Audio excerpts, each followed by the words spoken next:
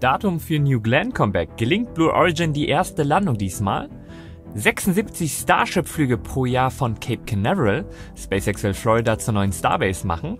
FAA-Untersuchung bestätigt Triebwerksversagen als Ursache für Starship-Explosion. Was bedeutet das für Flug 10?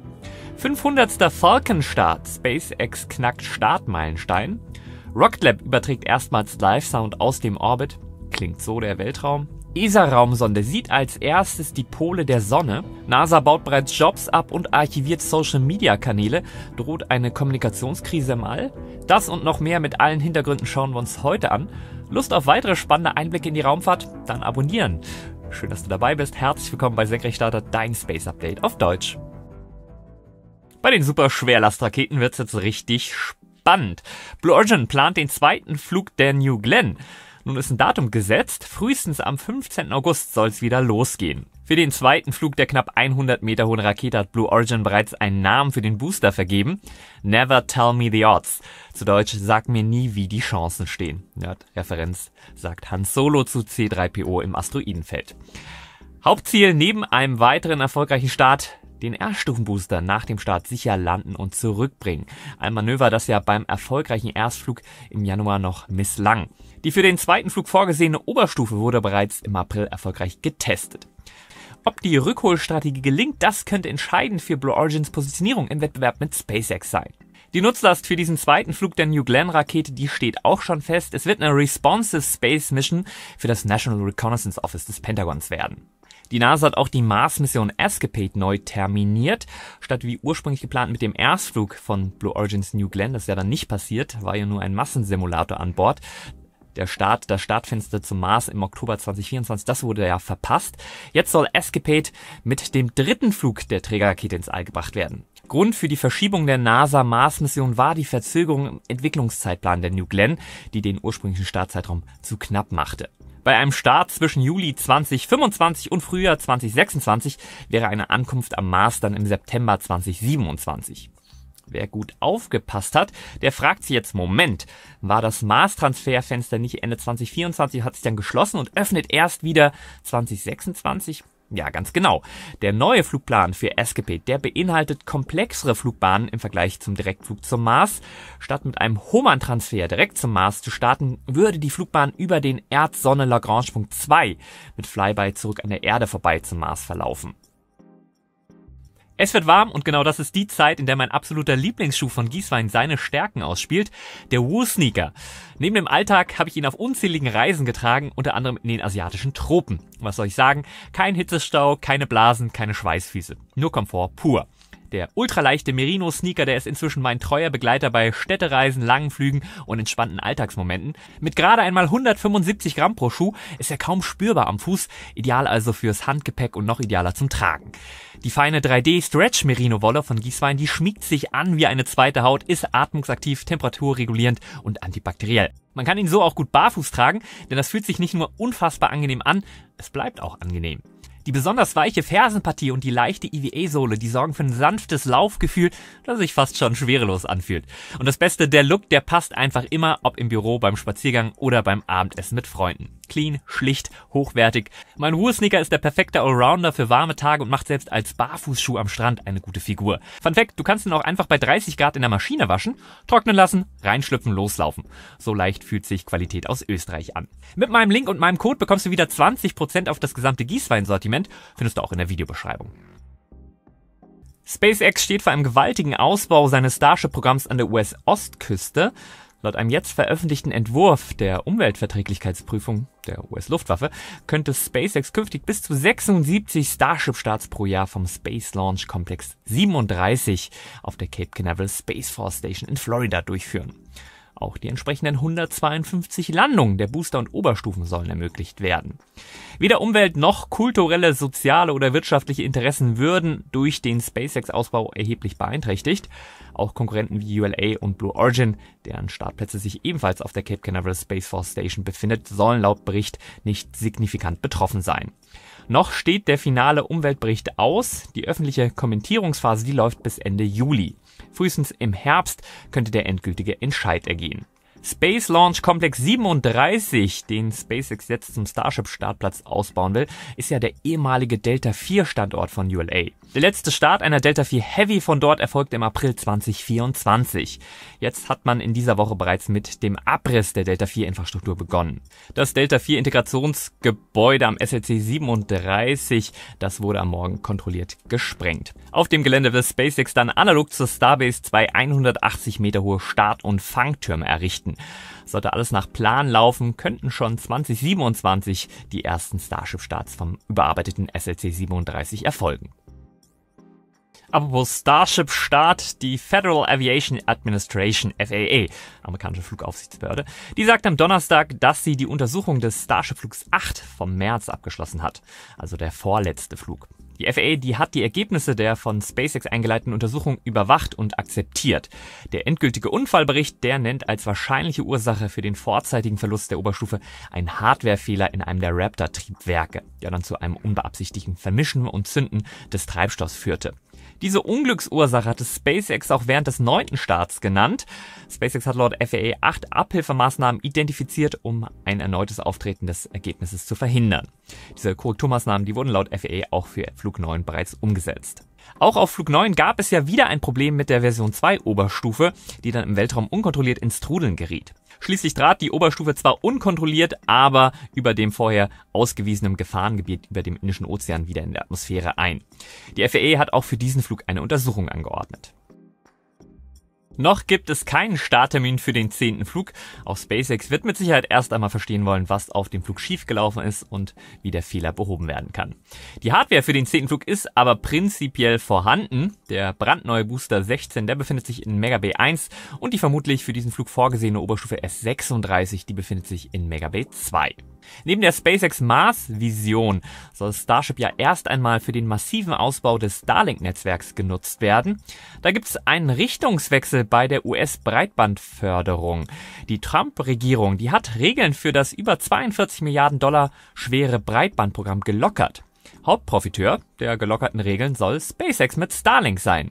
Ganz interessant, dass diese Lockerungen nach der öffentlichen Auseinandersetzung von Trump und Musk erfolgt sind. Ja, seine Drohung, die Dragon-Flüge einzustellen, hat der SpaceX-Chef letzte Woche ja wieder zurückgenommen. Diese Woche verhinderte dann ein technisches Problem den erneuten Flug von Dragon mit Crew. Die private Axiom-Mission Axiom 4, die musste ihren Start zur internationalen Raumstation erneut verschieben. Der eingesetzte Booster B1094, der hatte einen Flüssigsauerstoffleck. Das Leck, das war bereits nach dem ersten Flug des Boosters am 29. April bemerkt worden, wurde aber offensichtlich nicht vollständig repariert. Aktuell gibt es noch keinen neuen Starttermin für Axiom 4. Es gab aber natürlich erfolgreiche Starts letzte Woche.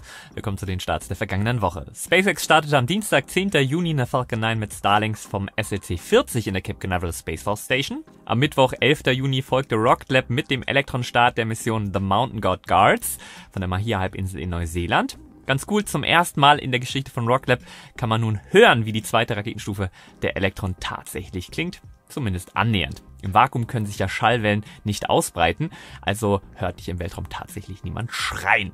Eigentlich. Aber Rocklab CEO Peter Beck teilte einen Clip, in dem man erstmals Live-Audio aus dem Weltraum hören konnte. Körperschall, Vibrationen, die durch Triebwerke, Struktur und Zündung entstehen, die wurden aufgezeichnet und algorithmisch in hörbaren Sound umgewandelt.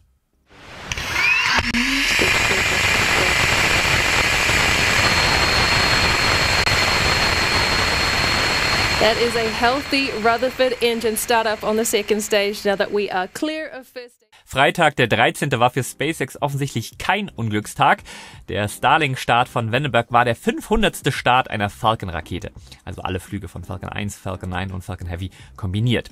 Interessant, diese 500 Flüge mal in Perspektive zu setzen. Erst im vergangenen Mai war SpaceX die 450. erfolgreiche Falcon-Landung gelungen. Ebenfalls Freitag, 13. Juni, startete SpaceX eine weitere Falcon 9, diesmal vom SLC 40 in der Cape Canaveral Space Force Station. An Bord waren auch Starlink-Satelliten. Am Samstag, 14. Juni, da startete in China eine Langermarsch 2D von Jinquan. Die nutzt das, die ist mir nicht bekannt. Satellitenhochzeit. Grünes Licht aus Europa. Die EU-Kommission hat die 4 Milliarden Dollar Fusion der Satellitenbetreiber SAS und Intelsat genehmigt. SES will die Übernahme im zweiten Halbjahr 2025 abschließen. Ursprünglich beides luxemburgische Satellitenbetreiber ist Intelsat mittlerweile US-amerikanisch. Daher fehlt nun noch die Zustimmung der US-Behörden für die Übernahme. Der konventionelle Kommunikationsmarkt mit Satelliten in geostationären Umlaufbahnen, der steht ja massiv unter Druck durch die Einführung von Satelliteninternet aus dem niedrigen Erdorbit. Apropos geostationärer Orbit. SpaceX ist ein technisch anspruchsvolles Manöver gelungen. Erstmals konnte eine Falcon 9 Oberstufe nach dem Aussetzen eines Satelliten im geostationären Transferorbit gezielt zum Wiedereintritt gebracht werden. Nach dem erfolgreichen Transport des Geokommunikationssatelliten Sirius XM10 demonstrierte SpaceX damit seine Fähigkeit, auch aus hohen elliptischen Umlaufbahnen kontrolliert die Orbits der Oberstufen durchzuführen. Normalerweise enden Missionen in den Geo mit Oberstufen, die jahrzehntelang oder noch länger in ihren Bahnen verbleiben bleiben. Einen richtig hochenergetischen Orbit strebt Artemis 2 an. Der soll die Crew um Reed Wiseman ja sogar um den Mond führen. Diese Woche gab es ein Video aus dem Training der Artemis 2 Crew. Die Crew nahm uns mit in den Simulator. Sie trainierte genau den Moment, in dem die Oberstufe des Orion-Raumschiff von der Erde in einer hohen Bahn von der Erde wegführt. Wenn 2026 erstmals seit Apollo 17 wieder Menschen den Mond umrunden, soll ein ganz besonderes Crewmitglied ja mitreisen. Ein kleines Stoffmaskottchen als Zero Gravity Indicator. NASA-Astronaut Reed Wiseman ruft aktuell weltweit zur Teilnahme an einem Wettbewerb auf. Wer eine kreative Idee für das flauschige Maskottchen hat, der kann sie über die Plattform freelancer.com noch bis Montag, den 16.06. einreichen. Ja, apropos Öffentlichkeitsarbeit. NASA-Quellen berichten, dass mindestens 60 Prozent der Mitarbeiter des NASA Office of Communications Programme zum vorzeitigen Ausstieg nutzen müssen, sonst drohen ab August unfreiwillige Entlassungen.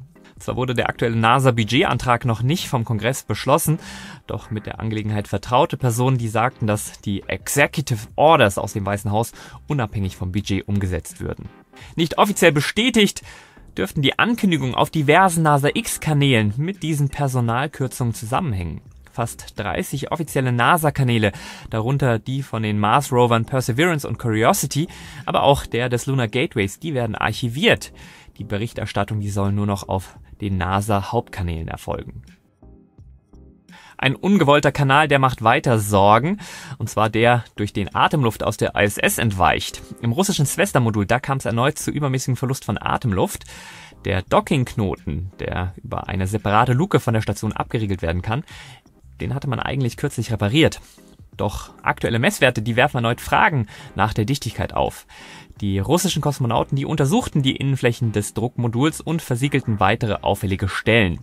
Der betroffene Bereich, der hält jetzt inzwischen wieder stabil den Druck.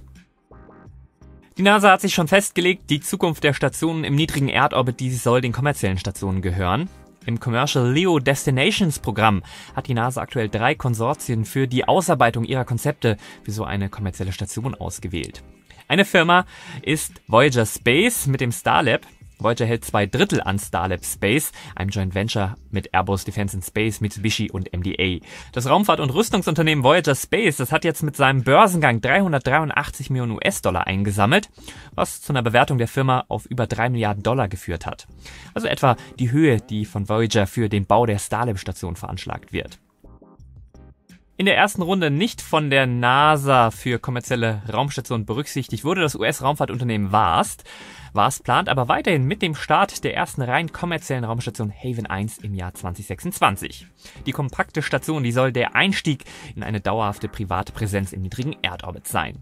VAST hat einen neuen Trailer veröffentlicht, in dem auch der ehemalige SpaceXer Hans Königsmann zu Worte kommt. Hans, den treffe ich in der kommenden Woche auf der Paris Air Show und will mit ihm über die neuen kommerziellen Raumstationen sprechen, außerdem über die europäischen Programme und wo wir da gerade stehen.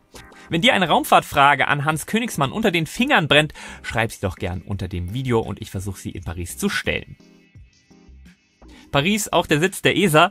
Erstmals überhaupt hat mit dem ESA Solar Orbiter eine Sonde direkte Aufnahmen von den Sonnenpolen gemacht ein Meilenstein in der Sonnenforschung. Dank eines 17 Grad geneigten Orbits gelang es der Sonde, den Südpol der Sonne zu beobachten. Aus einer Perspektive, die von der Erde aus ja niemals möglich wäre. Die neuen Bilder, die enthüllen ein magnetisches Chaos. Statt eines klaren Südpols finden sich dort durchmischte positive und negative Magnetfelder. Typisch für das Sonnenmaximum, wenn das Magnetfeld seine Polarität wechselt.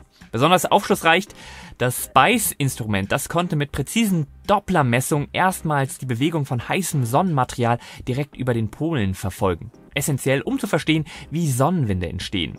Diese Erkenntnisse, die markieren den Beginn einer neuen Ära der Sonnenforschung. Der Orbit von Solar Orbiter, der wird in den nächsten Jahren nämlich noch weiter geneigt. Die besten Einblicke auf die Sonnenpole stehen also noch bevor.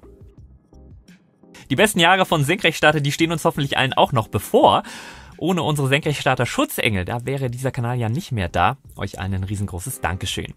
Du willst auch mithelfen, Raumfahrtbegeisterung im deutschsprachigen Raum zu verbreiten? Dann schau mal unter dem Video. Dort findest du einen Link zur YouTube-Kanalmitgliedschaft. Zur Belohnung gibt's ja dann alle Videos früher und ganz ohne Werbung. Vielen, vielen Dank werfen wir zum Schluss noch fix einen Blick auf die nächste Woche. Hier die geplanten Starts im Schnelldurchlauf am Montag, 16. Juni.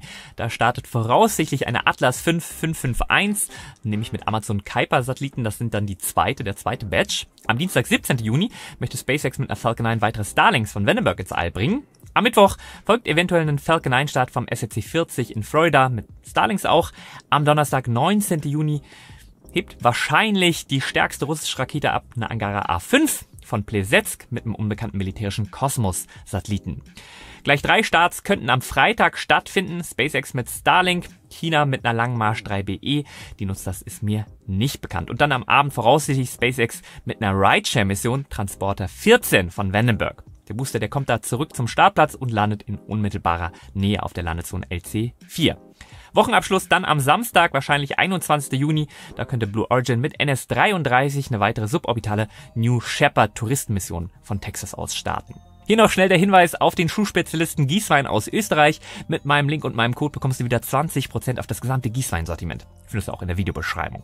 Hat dir das Raumfahrt News Update gefallen? Ja, dann gerne ein Like da lassen. Und wenn du es noch nicht gemacht hast, perfekter Zeitpunkt für ein Abo. Ich würde sagen, wir sehen uns im nächsten Video.